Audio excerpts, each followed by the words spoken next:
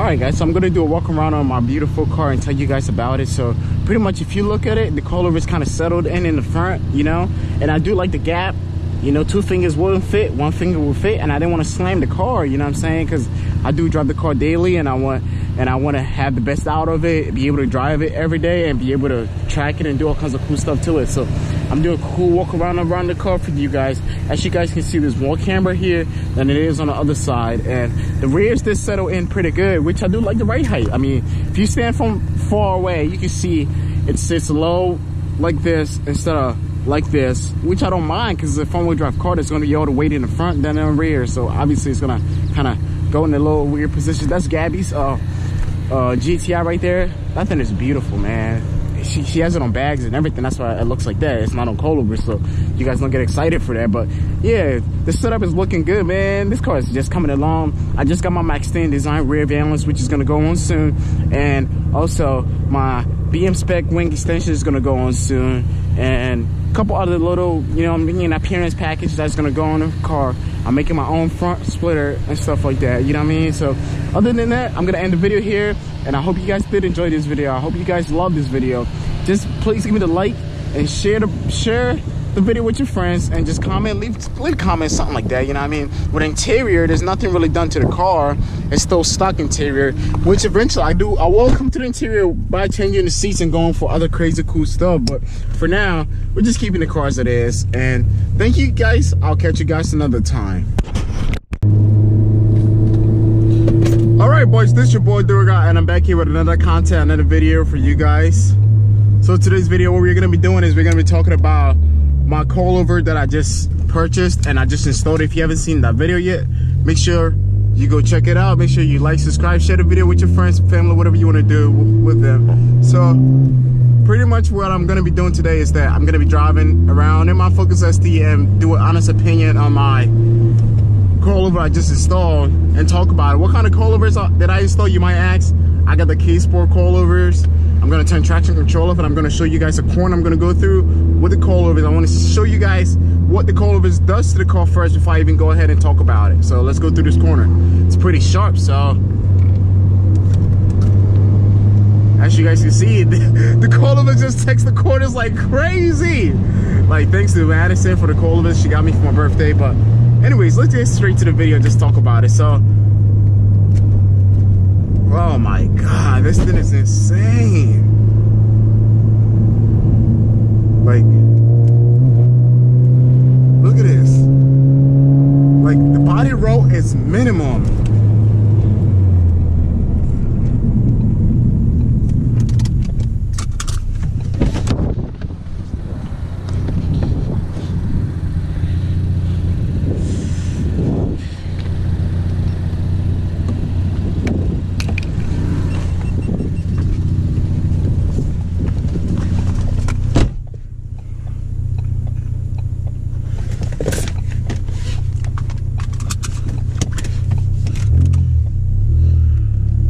So you may ask what kind of coilovers I, I got for my Ford Focus ST, and I'm gonna answer that. My coilover I got for my Focus ST is the K-Sport coilover, which it's not the really stiff ones.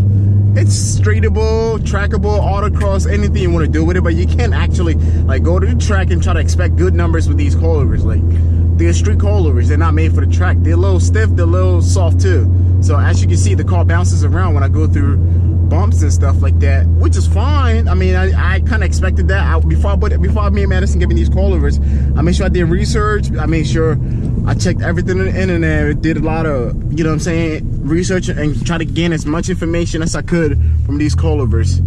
And one thing that I realized going from having springs on any car that I've ever owned to coilovers is that coilovers are way stiffer than spring. Obviously, springs you can't you cannot adjust springs, but you can get shocks that you can adjust with the springs, which I never did that. I always just got springs, H and R springs, and just throw them on a, on a stock strut, you know, and drive it around. And it felt really good. It felt really solid, but just upgrading from that to coilovers is a huge difference especially if you never own any coilovers there's another st oh i thought it was st but especially if you've never owned any kind of coilovers you're gonna actually love this coilovers and I, only thing that scares me is that I'm not used to it as much, you know? So when I'm going through corners or when I'm going through bombs, you know what I'm saying? It kind of scares me. I'm like, oh my God, I'm might have scraped, you feel me? And that just happened right now. I didn't scrape, but you know, I kind of bounced around a little bit. Some Somebody told me to make it a little stiffer than it is. And I didn't want to go with stiffer coilovers because, you know, I feel like, oh, you heard that?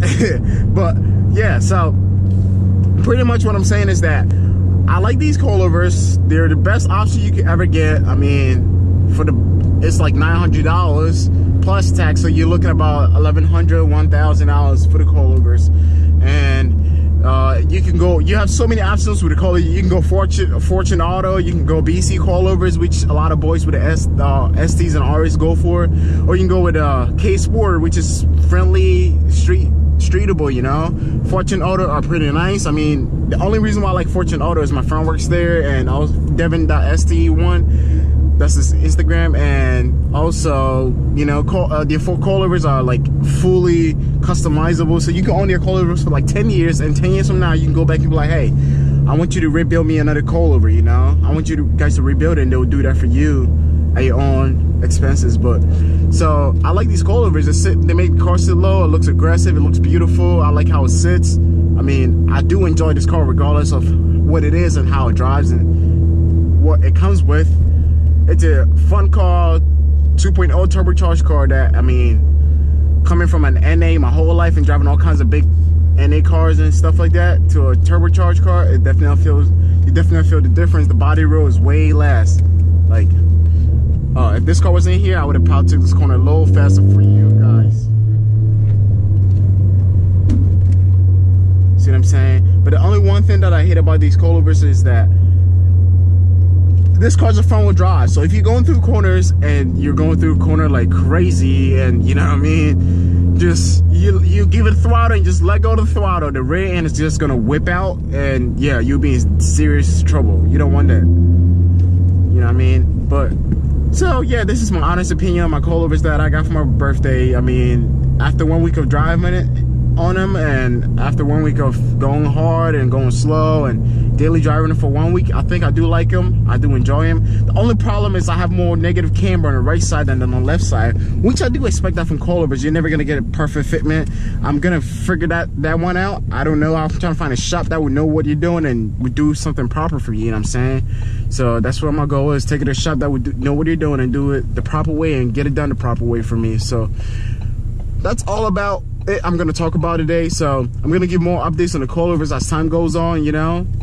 This is the first week I've ever owned coilovers in my life and I'm real excited and stoked about it. it. It just gives the car a really aggressive look and it makes the car drive really aggressive and ever since I installed the coilovers, I definitely feel a difference in like drivability, you know, daily, uh, driving it daily and stuff like that, which I do enjoy. But I'm gonna give more updates, like I said, on the car. So you guys stay tuned to the channel. Make sure you like, subscribe, share the video with your friends and family.